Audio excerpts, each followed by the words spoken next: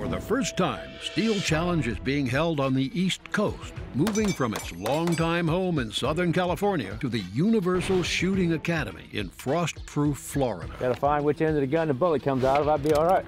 Jerry Miculek is here as well. The Louisiana legend is shooting's elder statesman and has grown accustomed to the many challenges of going head to head with the sport's young guns. You know how serious they are?